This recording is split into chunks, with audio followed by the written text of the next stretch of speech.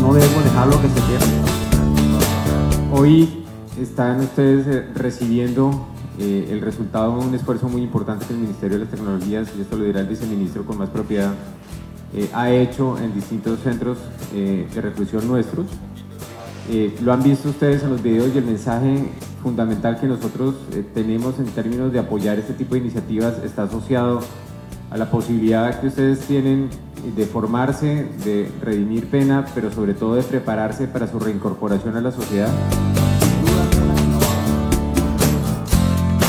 Para nosotros hacer ese cierre, ese cierre, ese ciclo es muy importante porque, porque finalmente eh, todo el proceso termina ahí y ese es el gran fin, que logremos esa oportunidad laboral en la, en la comunidad y, en, la, y en, la, en las personas que están privadas de la libertad.